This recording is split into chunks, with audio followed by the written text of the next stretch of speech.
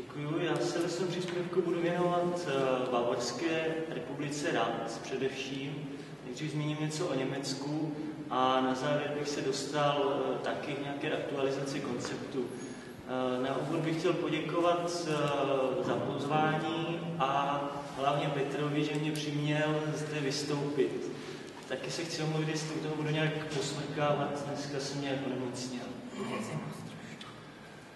Dělnické, vojenské a rolnické rady byly v 10. a 20. letech zásadní součástí všech revolučních hnutí ne v Evropě, ale vlastně e, daleko širším rozsahu po, po velké části světa a položili pevnější základy myšlenkám samozprávy a demokracie. Ideální model rad se měl obejít bez hierarchie a odloučeného vedení. Dělníci se měli organizovat eh, do všeobecných schromáždění, debatovat a pak kolektivně rozhodnout o průběhu akce nejen na svém pracovišti, ale zaujmout tím nějaký širší sociální, uh, zaujmout nějakou pozici v širším sociálním kontextu. Uh, volili si své delegáty, kteří byli výslovně úkolováni, aby hájili jen ty postoje, ke kterým byli legování a o níž rozhodlo jejich schromáždění. Byli, měli být kdykoliv odvolatelní, respektive každé, každý jejich úkol, který se ukázal nějak problematickým, byl znovu, měl být znovu projednáván se schromážděním. Takto se měla vypracovat řešení, ať by se delegovala jakákoliv moc na odloučenou skupinu možných vůdců. Rády jsou tedy způsobem, jak uchopit problém demokracie, demokracie pracujících, respektive ekonomické demokracie. Nejzaším cílem rád bylo vytvořit ekonomický, komunistický ekonomický systém. Po válečných letech vznikla revoluční situace, Některé vyrůstaly rady pracujících takřka po celé Evropě jako houby po dešti. Za všemi těmito pokusy stála snaha o překonání centralistického a do značné míry parlamentního modelu vlády směrem k demokratičtější a sociálně spravedlivější společnosti. Ve svém příspěvku se pokusím poukázat na význam rád. Nejprve budu ilustrovat situaci po Německu, Následně bych se dostal k samotnému příkladu Bavorské republiky. Rád, představil revoluční zapětí a jeho pád, eh, stručně její představitele, podrobně jednu z tamních významných postav dění, kterou pokládám osobně za hodně inspirativní, totiž neautoritářského socialistu Gustava Hadauera. Abych se v poslední části příspěvku dostal k předložení aktuálních momentů konceptu rad do diskuze. První světová válka způsobila otřesy v mnoha oblastech života. Vedle nesmírného utrpení a milionů obětí na frontách způsobila současně zbavení mnoha politických práv, zvýšení intenzity práce, prodloužení pracovní doby, nedostatek základních potravin, k tomu se šířily epidemie a její tragédie současně však otevřela pole představitelného a realizovatelného. Potřesené společnosti se odvažovaly k dalekosáhlým politickým a socioekonomickým změnám. Revoluční levice získávala stále větší podporu a oslabená, nekonzolidovaná státní moc byla rozrušována mnoha stávkami, spourami, požadavky a v konečném důsledku revolucemi. Neodmyslitelnou součástí těchto procesů byly koncept rad pracujících. Ten patřil ke stěžejním nástrojům, na nich se měla realizovat budoucí lidová moc, která už nebude stát na nohou bourgeoisního parlamentarismu, ale poskytne pracujícím samozprávu, politickou i ekonomickou. Princip reprezentace nahradí principem delegace. Největší pozornost to na něj udělá ruská revoluce. Zdá se mi však podstatné neopomíjet vzmach revolučního hnutí v dalších zemích nejen evropského kontinentu. V samotné Evropě se vlna povstání šířila od Ruska přes Itálii až po Irsko. Vznikly krátce trvající republiky rad v Maďarsku, na Ukrajině, v Německu, na Slovensku, v Alsasku, Lotrinsku a jinde. Rady pracujících byly vytvářeny po celé Evropě. Podíváme se blíže na Německou Bavorskou republiku, posléze dvě etapy Bavorské republiky rad, na jejich průběh a jejich osobnosti. Nejprve ale tedy Německu. Situace v Německu byla samozřejmě taky velice komplikovaná. Vojenské vedení pochopilo, že válka je prohraná a 28. září 1918 se pokusilo svou situaci zachránit tak, že provedlo změnu vlády, která měla uh, být onou kapitulující vládou. Uh, došlo k předání moci sociálním demokratům v čele s Friedrichem Ebertem. Ten upřednostňoval zpočátku konstituční monarchii a revoluci odmítal. Situace se však v následujících dnech vymkla z rukou. Velká část obyvatel udržovaná v představě německého vítězství eh, byla silně rozčarována nastalou situací, eh, doprovázenou obrovskou inflací, nedostatkem ubytovacích kapacit, eh, růstem nezaměstnanosti a samozřejmě nedostatkem základních eh, potravin, uhlí. To podnítilo a podněcovalo další a další nespokojenost. Ve vojsku byla situace také složitá. Po kapitulaci 11. listopadu eh, ke kapitulaci došlo 11. listopadu. Už předtím však přes zjevnou porážku byl vydán příkaz německého vedení útoku na britské loďstvo. Ovšem 29. Eh, října odmítli stovky námořníků v přístavu Wilhelmshaven poslušnost. Odmítli zautočit. Následně byli uvězněni v Kielu, kde na jejich podporu vypukly stávky a demonstrace. Následoval útok na protestující, který si vyžádal sedm obětí. Spoura se šířila dál a dál. Zachvátila Hamburg, Brémy, Hanover, další a další vojenské posádky vypovídali poslušnost, dělníci vyhlašovali stávky a požadovali odstoupení vlády. Začala německá revoluce. Současně vznikaly rady dělníků, vojáků a rolníků jako orgány lidové vlády s požadavky míru a republiky. Sociální demokracie smluvila dohodu s vojenským vedením a dalšími božuazními stranami, aby zabránila radikalizaci a vzniku republik rad, nebo jedné republiky rad. Ovšem, jak bylo řečeno, navzdory Ebertovi vyhlásil jeho zástupce, místo předseda sociální demokracie Filip Scheidemann, republiku. Císař současně odešel do Belgie a v dalších dnech sám rezignoval. Ebertova sociální demokracie uzavřela následně dohodu o tzv. obnovení pořádku s velitelem armády Grémerem potlačení socialistů. Tím získal Ebert podporu věrné armády, která vyrůstala, která pokračovala v tradici imperiální armády císařství. Tomu umožnilo následně zasahovat proti republikám rad a dalším spourám. 29. prosince 1918 opouští vládu představitelé nezávislé sociální demokracie, eh, co ta znamenala se dostem za chvíli, na protest proti postupu a masakru na štědrý večer roku 1918 v Berlíně. To je vlastně základ oné známé zrady, eh, zrady sociální demokracie. Hm, ještě zbývá vysvětlit eh, co znamená Freikorps, totiž dobrovolnické jednotky složené z vojáků, které, kteří se odmítli po kapitulaci odzbrojit a jistou dobu vlastně doplňovali republikánské Ebertovo vojsko. společně pak rozdrtí Bavorskou republiku rad.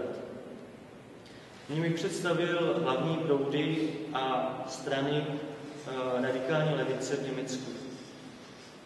Byli to komunisté, nejprve organizovaní ve Spartakovském svazu a vlastně současně členy USPD, totiž nezávislé sociální demokracie. Komunisté byli dále organizováni v mezinárodních komunistech Německa a společně vytvářejí na počátku roku 19 eh, komunistickou stranu. Spartakovský svaz byl založen v rámci sociální demokracie během války eh, zmíněným, zmíněnou Lucemburkovou, ale Liebknechtem, Paulem Levin, Francem a další. Další skupinou byli zmíněni nezávislí sociální demokraté, kteří vznikli v roku 1917 odštěpením od sociální demokracie jako její levé křídlo na protest proti její podpoře války. Jedním ze členů nezávislé sociální demokracie byl i, uh, byl i uh, Eisner, který bude významným představitelem Oberské republiky. Další skupiny tvořily nezávislí radikální socialisté, syndikalisté, odboráři s významnou organizací revolučních starostů, německý revolucionér Obloite. Myslím si, že on překlad starostové je dost matoucí, protože šlo vlastně o tajemníky e, v podnicích do značné míry. Mezi nejvýznamnější představitele této skupiny patřil Richard Miller nebo Ernst Dojmy.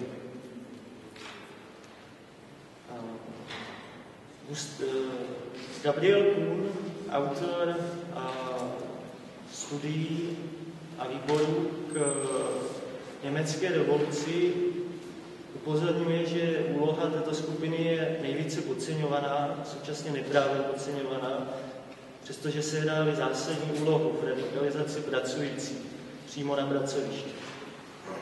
A konečně poslední skupinou jsou anarchisté, z nich nejznámější je právě Gustav Landauer nebo Erich Mízan. Zaměřme se nyní na jednotlivé německé spoury. Braunschweig vyhlásil republiku 10. listopadu. Braunschweigská rada dělníků a vojáků trvala nejdéle ze všech až do 17. dubna 1919, tedy uh, skoro pět měsíců. Uh, Braunschweig svou strategickou polohou v centru Německa byl samozřejmě trnem boku SPD, hlavně její, uh, jejímu vedení a její pravici v Berlíně. V Dubnu se rozhodla zdejší rada neodporovat vládním vojskům a díky tomu skončila bez prolití krve ani její představitelé nebyli podivu dále stíháni. V Brémách se vytvořila nová moc pracující 14. listopadu 1918. Silné radikální síly představují zejména mezinárodní komunisté, syndikalisté. Republika Ratu byla vyhlášena 10. ledna 1919. V Berlíně vypuklo Spartakovské povstání v lednu 1919. 5. ledna obsadili uh, se vlastně živelně, neorganizovaně demonstranti noviny a další infrastrukturu a instituce. Spoura trvala šest dní, po kterých následoval masakr společných sil armády a Freikorpsu. Zemřelo více než 150 lidí. Ovšem Spartakovci sami hráli v povstání marginální úlohu, z jejich členů nebo ze členů no, z té doby vzniklé komunistické strany se do povstání zapojil vlastně Liebknecht a Wilhelm Wieck, pozdější prezident východního Německa. Strana jako taková se odmítala účastnit na povstání jako právě živelném, neorganizovaném a předčasném. E, přesto se to nazývá Spartakovským povstáním e, z toho důvodu, že po potlačení povstání byla Luxemburková s Liebknechtem eh, po zavraždění. A protože už ve své době to byly symboly německé revoluce, tak eh, povstání zůstal název Spartakovské. Eh, Pokročil bych představení Bavorské republiky.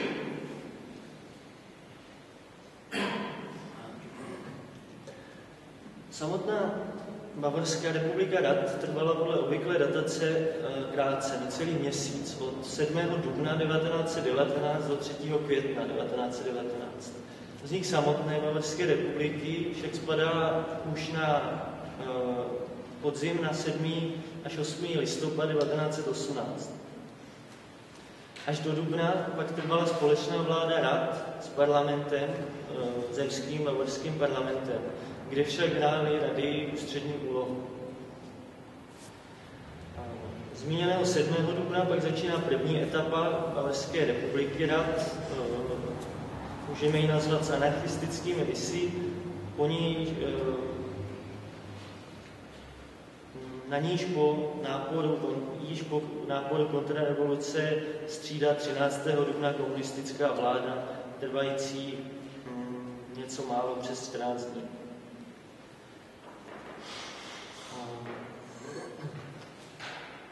7. listopadu 1918 uh, už uh, v Mnichově demonstrují tisíce dělníků uh, po tom, co Kurt Eisner, jeden ze nezávislých demokratů, který byl po generální stávce v roce 1918 uvězněn a bezprostředně um, po vzniku nové sociálně demokratické vlády propuštěn při amnestii, uh, tak tento Eisner organizuje demonstrace za ukončení války.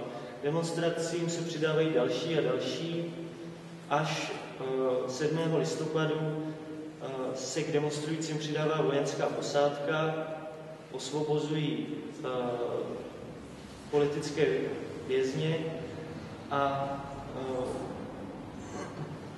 8. listopadu na výročí říjnové revoluce v Rusku se chopí infrastruktury ministerstev a novin požadují bezodkladné příměří, 8-hodinový pracovní den, aplikaci bavorského krále Ludvíka III. Současně se ozývají hlasy po vytvoření rad dělníků, vojáků a rolníků. Eisner vyhlašuje svobodný stát Bavorskou republiku a stává se jejím ministerským prezidentem. Pod Eisnerovým vedením si lidé zvolili delegáty revolučního vedení. Eisner byl zvolen také řízením schromáždění dělníků, vojáků a rolníků. Ulice zaplnily plagáty vyzývající k volbám do rad svobodného Bavorska. Současně vyhlašují, že nová vláda svolá národní schromáždění, to znamená, rady budou existovat vedle parlamentu bude usilovat ze společenštit průmysl, ovšem neučiní to bezprostředně kvůli aktuálnímu nedostatku a problémům ve výrobě a prosadí ekonomické, sociální a politické reformy. Král Ludvík III. rezignuje a je mu oznámeno, že může zůstat v Bavorsku jako jak každý, jakýkoliv svobodný občan.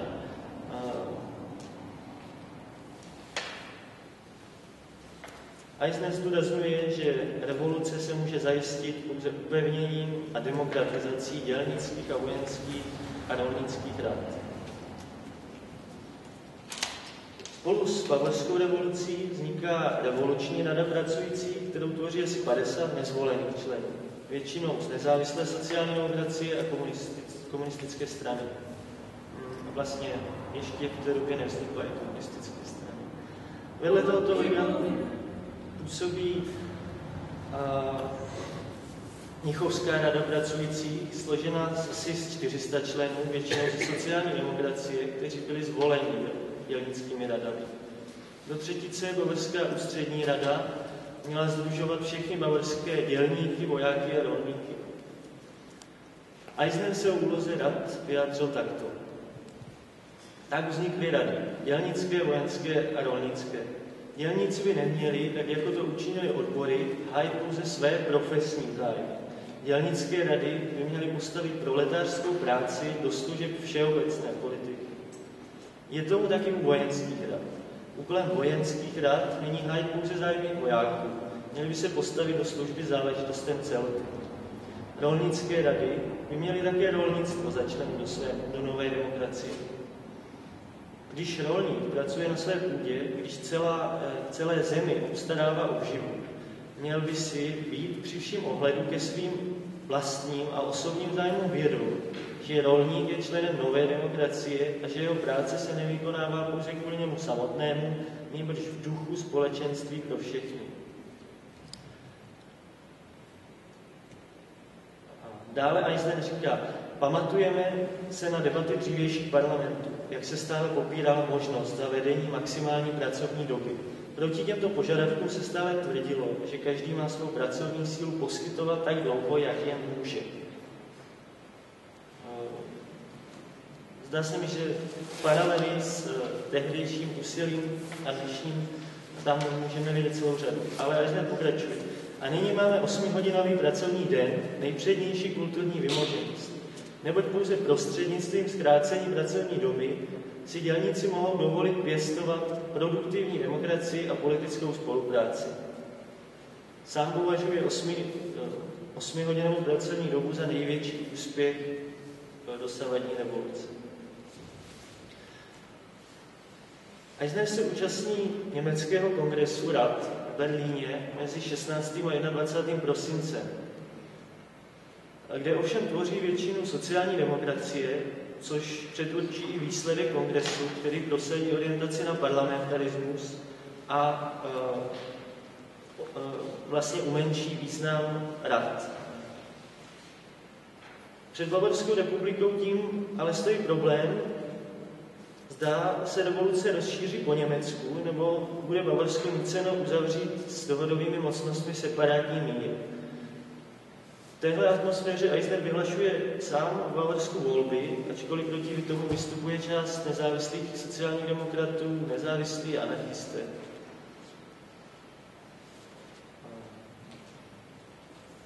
Přestože rady měly významnou podporu mezi obyvatelstvem, nezaručovalo to a bylo to pro většinu eh, při zúčastněných jasné, že v eh, zemských volbách nemohou radikální socialistické strany získat většinu. Eh, to se také stalo ve volbách 12. ledna zvítězila Bavorská lidová strana následovaná sociální demokracií. Samotná Eisnerová nezávislá sociální demokracie získala jen 2,5 Eisner se rozhodl rezignovat, což však již nestihl, neboť byl cestou do parlamentu 21. února zastřelen hmm, antisemickým pravicovým židem. Roku 1989 mu bude na místě vraždy ustyčen pomník. Vražda tehdy však vyvolala velké pobouření a zabránila tak konzolidaci sil pravice, sociální demokracii a dalších počívazných stran.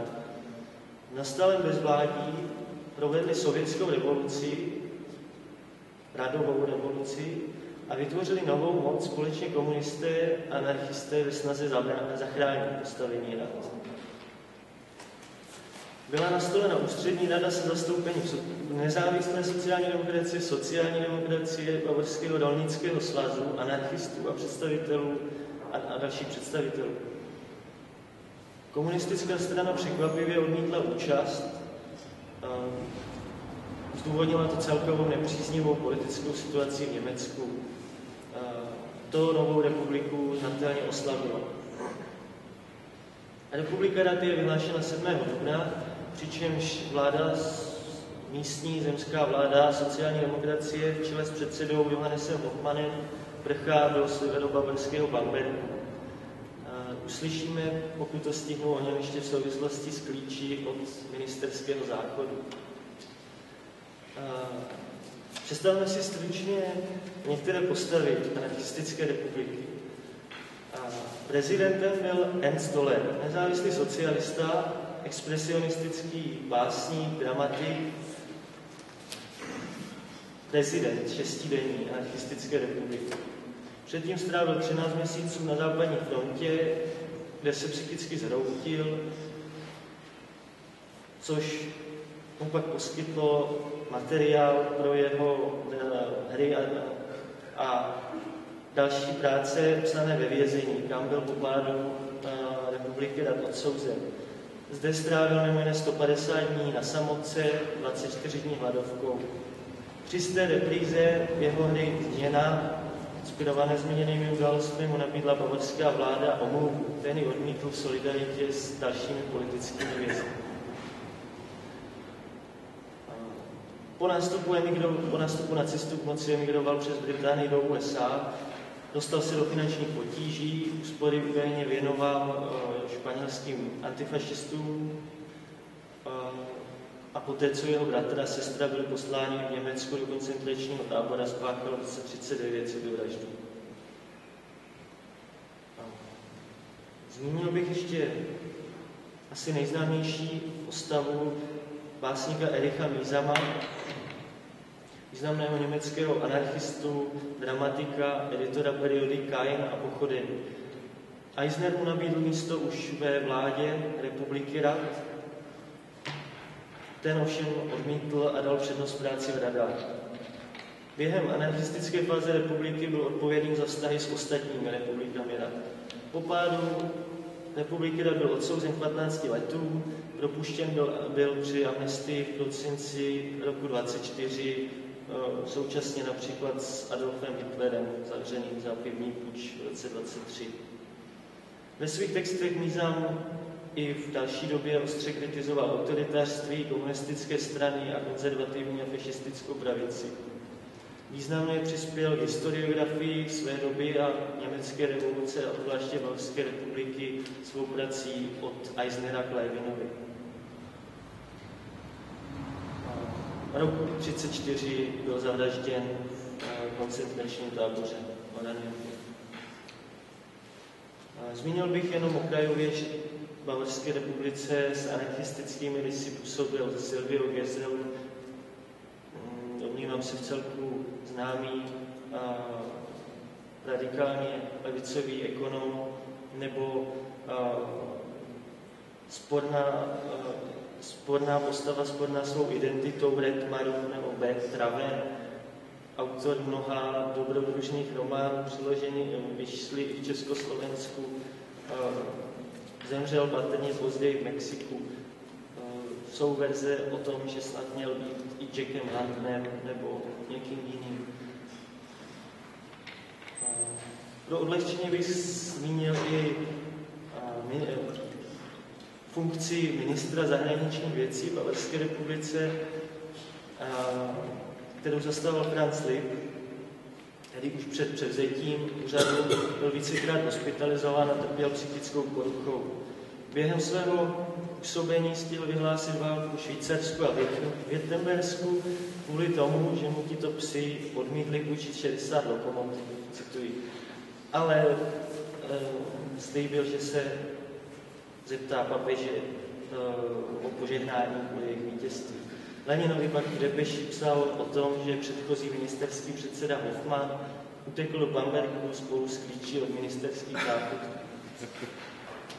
V Bambergu ovšem sociální demokracie konzoliduje síly a podniká první útoky na Bavarskou republiku rad. V té chvíli vstupují uh, komunisté, kteří uh, pomáhají brání intervenci svými rudými gardami. Odstup první Bavorské republice rady je ovšem patrný, zřejmě je pak šíření povstání spontánně mezi jednotlivými městy a předpokládané federalizaci, jak si to, jak to, jak si to představovali především anarchisté. Bezprostředně na to komunisté odstavují šestidenní vládu s anarchistickými rysy a tím začíná 13. dubna druhá etapa Bavorské republiky. Akční výbor tvoří komunisté, Číně v republice ovšem zůstali i nezávislí anarchisté a jednotlivci ze sociální demokracie. Komunistická Bavorská republika rad chtěla provést národnění bank, velkých podniků, plnou samozprávu továren, plánovala zrušení přinejmenších papírových peněz, e, hlubokou reformu vzdělávání. Během komunistické etapy se ovšem poprvé v Bavorsku objevují první politické násilí a vraždy, což následně poskytne záminku pro tvrdou odplatu intervenčním jednotkám armády a Jakobsu.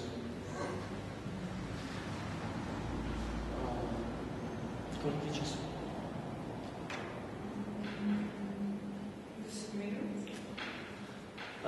Možnosti, které otevřela německá revoluce, směřovaly k demokratizaci, delegativnímu principu, samozprávě a decentralizaci, jako v sobě koncepce rad nese. Kapitalismus měl být odmítnut a vlastnictví ze společenštěno. Podíváme se na důvody porážky.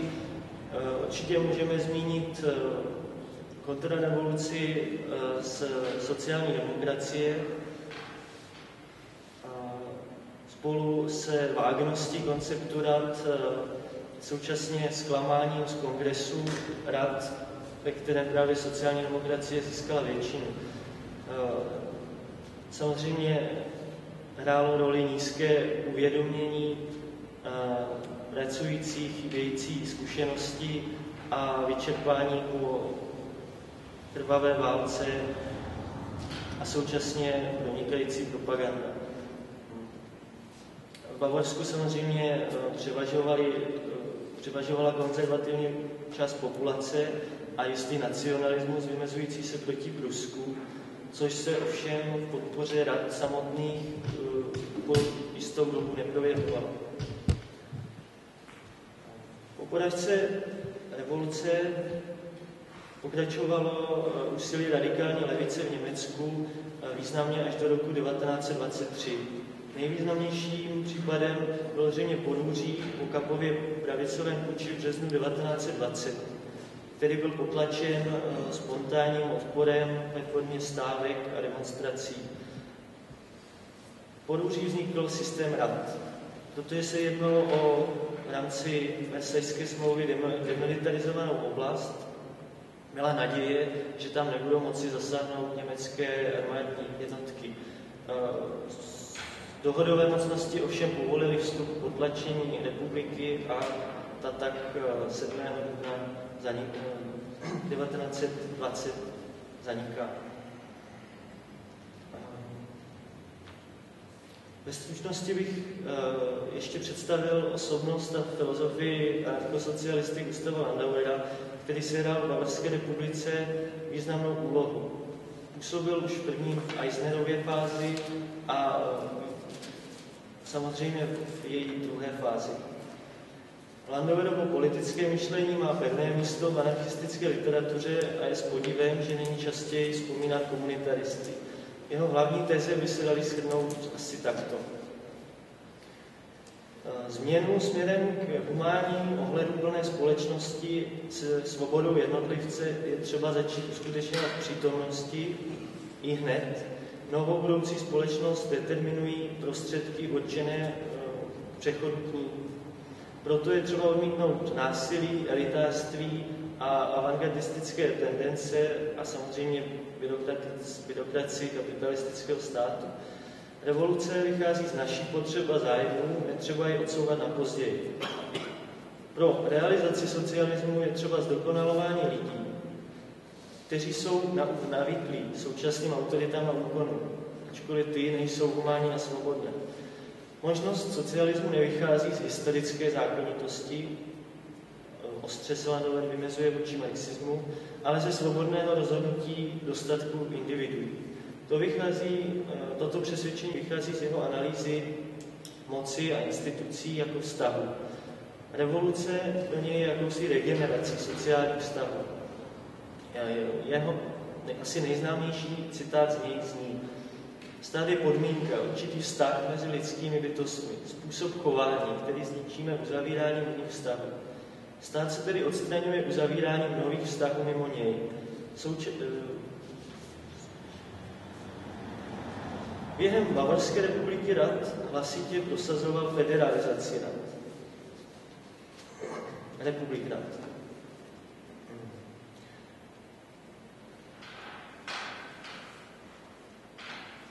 V Bavorské republice se hrál zásadní roli. Přes určité výhrady přijal nabídku Eisnera na působení v republice, která započala na podzim, a stal se 18. listopadu 18 jedním z 50 člené revoluční dělnické rady. Působil také v zemském výboru vojenských a dělnických rad a dalších strukturách. Po 7. dubnu se stal lidovým zmocněncem pro osvětu. Chápal roli kultury a umění v nové společnosti jako nedocenitelnou. Vypracoval nový systém školství, pro měnu výchovy, která měla nahradit autoritářský a hierarchický systém. Současně odmítal, jak jsem zmiňoval, násilí i proti kontrarevolucionářům. Svoji radikální transformaci školství a výchovy chtěl realizovat podle modelu španělského anarchisty a učitele Franciska Federy. Mnichovskou univerzitu plánoval otevřít všem 18-letým eh, a zrušit zkoušky. Landauer se ostře postavil proti Eisnerovu vyhlášení parlamentních voleb ačkoliv pokračoval v práci v Eisnerově vládě, zaujal post, odstup, nebo trval na vytvoření federace republiky rad a nikoli uh, na buržoazním státě s levicovou vládou uh, spolupracující s radami. Konec takového státu a kapitalismu viděl právě v republice rad. Ale co jsou Landauerově smýšlení a osobnosti napovídají jeho dopisy. V angličtině publikované ve zmiňovaném výboru, výboru v výboru zmiňovaného autora Gabriela Kuna všechny moc rada. Říká, že Landauer říká, že spásou může být jedině Unie nezávislých republik založených na přímé demokracii. Budoucí uspořádání Německa si představuje složené z německých oblastí jako federací bez centra, které musí být suverénní a založené na participativní demokracii, silné autonomii a družstve. Východiskem proto jsou právě rady. Delegáti z jednotlivých republik vytvořili federální radu hájení svobody a rozvoje. Říká, že heslem musí být nikoli diktatura proletariátu, ale zrušení proletariátu. Republiky mají otevřít výchovu a vzdělání dospělých. Úlohu Bavarské republiky vidí jako zvlášť zásadní. Má být totiž vzorem revolucím a republikám tím, že bude od svých počátků založena na humanitě a rozumu. 20. ledna píše, 20. ledna 1919 píše, jak chápe demokracie jsou dvě různá chápání demokracie. Jedni chtějí současných nedostatečných a živelných forem rad ustavení diktatury proletariátu. Druzí věří, že rady jako nový nástroj mohou být základem veřejné zprávy s tím, že rozhodující je místní aktivita a nikoli je nahrazení parlamentu kongresem rad. Po uchopení moci komunisty 13. dubna nabídl nové vládě své služby a chtěl se podílet na programu změn ve vlastnictví a kultuře, ovšem dle uh, její výkonné rady nebyl dostatečně revoluční. 16. dubna odpověděl dopisem, kde vyjádřil střízlivou podporu další politice uh, s tím, že se na ní nemůže již dále podílet. Setrval v Mnichově v domě, ve kterém žila vdova po Eisnerovi a po vpádu kontrarevoluce byl 1. dubna odvlečen a následujícího dne vyučen. Opusme Landauera a podívejme se nyní na teorii rad z širší perspektivy. Idea rad je starší než německá revoluce nebo uh, revoluce let 1917. Uh, této koncepci byly ustřebány podněty z pařížské komuny, stejně jako z díla Proudhona, Marxe eh, a samozřejmě z ruských revolucí 1905 a 1917. Z bezprostředních zkušeností na pracovištích a neposlední řadě z textů eh, teoretiků, z nich nejvýznamnější je asi Anton Panekojek eh, holandský, komunista rad a také známý astronom. S revolucí pak koncept rozvíjel například Otto Riele nebo Erich Míza. Vždy musíme mít na paměti, že limity, které dalo krátké trvání republikrát, nedovolují dostatečně zhodnotit všechny výdobytky i rizika politiky rad. Rady měly sloužit nejen k rozšíření parlamentárního státu, sociální práva, jak se o to snažila sociální demokracie, částečně i křesťanská hnutí a strany a velká část odborářů, ale měli celkově rozbít nerovnost třídní společnosti a navrátit rozhodování o záležitostech, jež se lidi týkají přímo k ním. Smyslem byla minimalizace zprostředkování, na které stojí kapitalistický stát a jež se manifestuje v byrokracii.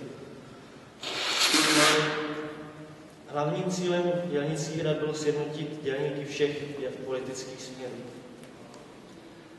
Jak pokračovala koncepce rad a v čem se ukazuje i dnes jako životná? Zamyslíme se, kde dnes působí koncept rad, najdeme překvapivě, domnívám se, široké pole.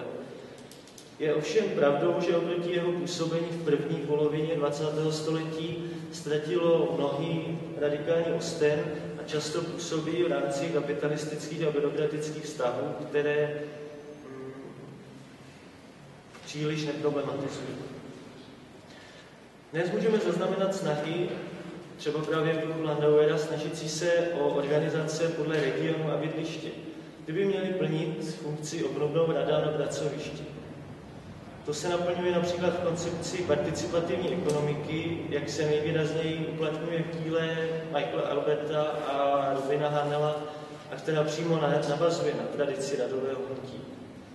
V opozici k volnému trhu i direktivnímu plánování počítá tato koncepce se společenským vlastnictvím výrobních prostředků, radami pracujících a spotřebitelů, proměnou dělby práce odměňováním podle vynaloženého úsilí a participativní plánování. Lehce odlišný model od Parekonu pak poskytuje koncepce například samozprávné ekonomické demokracie, která zachovává trh, ovšem funguje v ní zaměstnanecká samozpráva a společenská kontrola investic. Je asi nabílení, že tento koncept se odchyluje od původního revolučního potenciálu rad. Na druhou stranu je právě tím, o čem volal Pandauer, když žádal zárodky po, revoluční, eh, po revolučních vztahů před revolucí. Samozprávně řízených podniků, ve kterých funguje struktura podobná radám, najdeme po světě celou řadu, nejblíže zřejmě v Německu. Největší pozornosti se pak v posledních letech dostalo asi argentinskému hnutí za samozprávu, po krachu ekonomiky a politické krizi v roce 2001 a posléze. Jak už jsem ale říkal, eh, v těchto podnicích přesto, eh, tyto podniky přesto působí na trhu a v rámci státu a především izolovaně. Pro promýšlení a realizaci demokratického radikálního socialismu zůstává myslím si, hnutí rad a komunismus rad jedním z nejústředních, tak přece významných vyživujících toků. Nejsilnější moment koncepce rad vidím v jejím demokratickém charakteru samozprávné demokracie z dola, uplatnitelné jak v ekonomice, tak v politice a fungujícím na principu delegace odvolatelných a odpovědných zástupců. S druhou světovou válkou mizí sice klasická eh, industriální podoba společnosti, dochází k fragmentarizaci eh, organizace, organizací pracujících a je samozřejmě otázka, zda tím eh, možnosti rad nejsou rozbity. Pomyslíme-li ale na třetí svět a na situaci ve třetím světě, pak se uh, to nezdá tak uh, jasně. Zásadně důležitým pro vznik rad a samoorganizací bez mocných a pracujících byl rozklad předchozích struktur a destabilizace. Potřes nejen socioekonomický, ale i psychologický, identitární který umožnil vznik nejen prostor pro alternativy vykořišťovatelské oceněné společnosti, ale co si myslím, že je třeba zdůraznit i rozvinout, i rozvinutí představivosti. Že si dokázal představit, že podnik může dál řízený kolektivně, bez byrokracie a vedení, společně s jeho druhy. A skončil bych závěrem. Myslím si, že revoluce let 1917 až 21 zůstávají fascinující tím, jak si eh, neprivilegovaní dokázali prakticky přes noc odvážit k něčemu, co se předtím jistě zdalo nemyslitelným. Charakter Bavorské republiky odmítající vyčlenování a chápající potřebu revoluce, která se nespokojí s výměnou elity, současně chápe potřebu působit nejen v oblasti vysoké politiky a ekonomiky, ale i v kultuře a každodennosti. A především potřebu delegativní demokracie je inspirací i dnes. Myslím si, že koncept pravd není tedy něčím patřícím pouze minulosti, jakkoliv se parlamentaristickým a dalším autoritářským proudům nemůže zamlouvat. Některé příklady uplatnění rad až dodnes jsem nastínil. Skončil bych odkazem na Rudolfa Rockera, autora práce Systém rad nebo diktatura, který připomínal a předložil bych jeho citát do diskuze, zdali je ještě platné to, co říká, který říkal v reakci na eh, to, že bolševici a sociální demokracie často odmítali rady jako utopické, že systém rad je jedinou institucí, která pravděpodobně povede k tomu, že se socialismus stane skutečností.